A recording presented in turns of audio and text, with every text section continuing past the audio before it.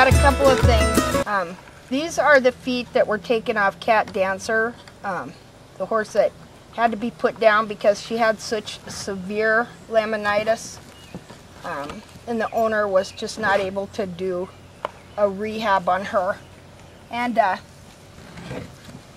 I, don't, I don't quite know how to start because um, I haven't done any videos for a while. And um, I've kind of hit some low spots where I had some setbacks with uh, my own horses and some of the horses I do, and uh, just wasn't understanding a few things. And then it was like uh, in the last couple of weeks, all these pieces to a puzzle just came together, and I started getting these wonderful results. And really, I really started understanding what is going on with these hooves when these horses have problems, what's going on internally. That's why in the video I really wanted you to uh, focus and keep in memory a couple of very important things. One is, and so one thing I really wanted you to focus on was the coronary band here, the shape, the slope of the coronary band from which the, the hoof wall grows. Another thing, how this coronary band is what they call vascular, vascularized and heavily vascularized and how um, it deals with what's called in the body microcirculation and how the coronary band which comes from the Latin word meaning crown, basically is supposed to just rest at the top of the foot here, at the top of the hoof wall, like a crown.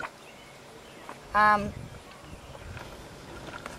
so the coronary band is just supposed to rest, as I said in the picture here, at the top of the foot, like a crown. It crowns the hoof hoof wall. Now this is a piece of hoof right here. Okay, you see how on the inner structure right here, there's a, a little dish. That's where this, okay, right there, that coronary band, the hoof wall, it rests in here.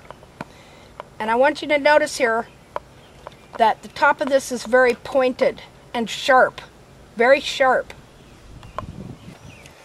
Okay, something I want to wanted you to focus on. There's two main things to focus on. One is the blood supply and circulation of the equine hoof, especially that that lays up here in the coronary band. Because without going through the coronary band, it never gets to the hoof itself. Now, in biophysics, they say that um, this deals with what with what you call microcirculation. Okay. Now, depending on what's going on, whether the horse is running or whatever, these little arteries and veins, whatever they're called, it said they have the ability to change caliber. Okay, that means caliber is what you call like bullets. Like you have a 22 shell and you have a 30 6, you know, or a 357 Magnum. You know, that means they are bigger around. These veins and arteries, this blood supply right in here, mic, you know, when something has microcirculation, it has the ability to change its diameter and size, its caliber. So it might be little teeny tiny like that, but given the right circumstance, like the horse is running, okay, it has the ability to open up like that to get more blood flow into the hoof. Okay, now you might be interested to know that uh, uh, you see advertisements on television all the time that uh, are trying to sell products to improve microcirculation. And this has to do with what you call male enhancement.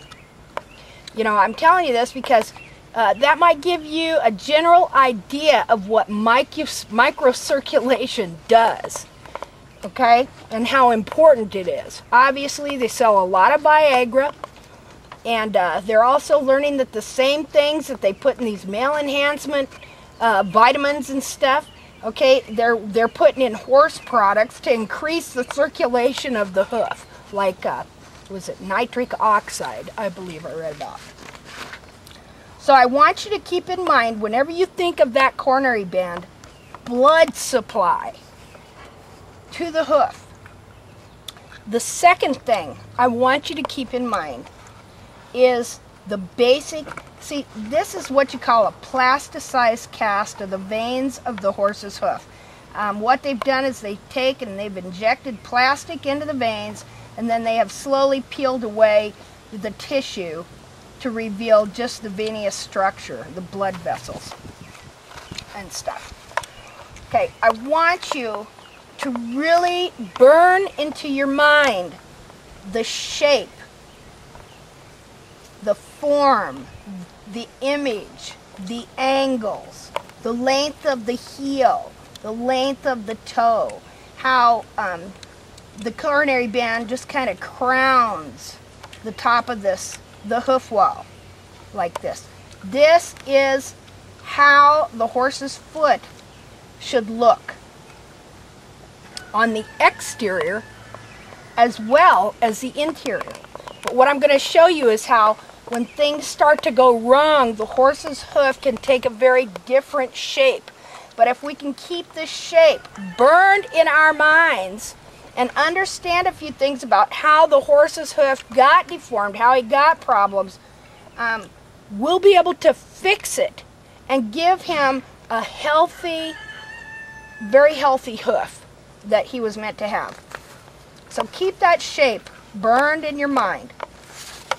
Okay, now here's another picture, okay, that has the tissue included. Okay, again, it's the same shape.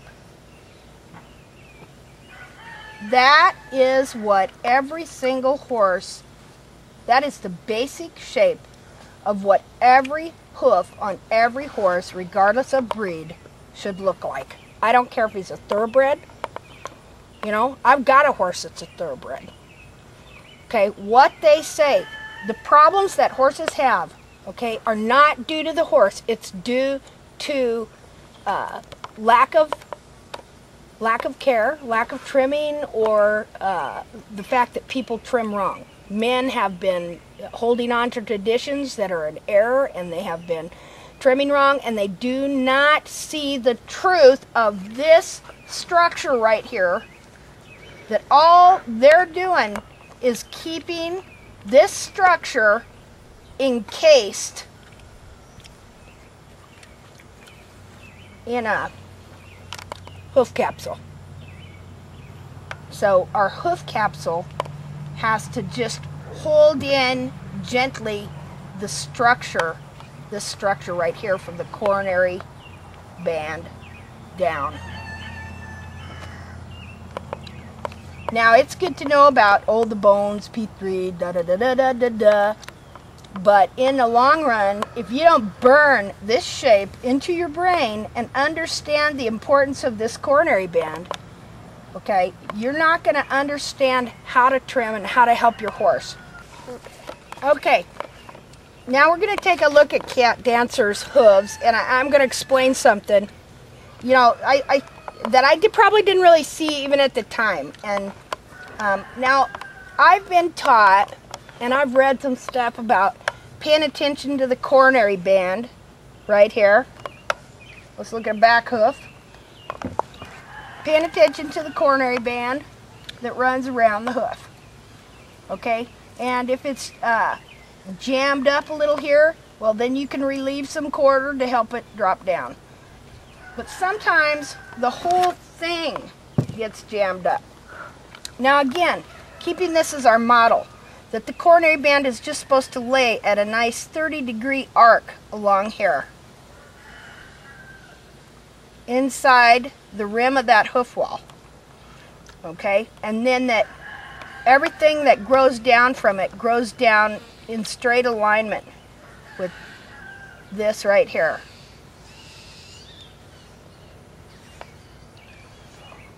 This is how the hoof should look. Now, let's take a look at Cat Dancers and see what happened to her. Okay, can you get up close there, Leah? Yep. Okay, what you're going to find happens is that when horses do not get trimmed right, as the hoof wall grows out to the ground and, and uh, the horse is walking and there's a lot of pressure on it, it starts to jam this coronary band here. Okay, the hoof wall grows out to the ground. When it gets too long and the horse is not trimmed, okay, then that growth has to go somewhere. Unfortunately, it starts growing, going back up this way, like this. And as it does, it takes the coronary band with it. Let's see. Right here. To where the coronary band gets shoved up into here. You see? So, this is what happened to Cat Dancer long before she ever foundered on grass. She was trimmed wrong, and uh, in shoeing schools, they don't teach them much about the hairline. What happened here is as this hoof wall grows up and shoves up this way, it takes and it pushes all that soft tissue up like this. You can feel a ridge here. Okay? And it just pushes the bulb and all this stuff right in here. Let me see. Let me show you here. Okay, well this pushes up, then it pushes all that's above it, all the lateral cartilage and everything else. It just shoves it up. Now it can do it on one side or it can do it on both sides. It can do it all the way around the hoof. And it happened really bad to Cat Dancer. Now, her, this coronary band is shoved up into here. Okay, the hoof wall got shoved up this way and grew up and was shoved up this way. And you see that she's got, right here, well, my marker works, she's got this much hoof wall that instead of growing out through and down to the ground and being trimmed off or you know worn off if she'd have been out on the desert somewhere she could have wore it off herself. Because the farrier, whatever farrier they had doing her did not recognize or understand this, and I'm not getting on farriers, I'm saying they don't really teach about this in farrier school. In fact, uh, uh, even there are even barefoot trimmers that don't realize this, that don't know how to recognize when this coronary band and the when the wall has grown up and pushed the coronary band up. Okay? Now, if her foot would have been right, okay, all these tissues in here, okay, would be setting down here. Down here.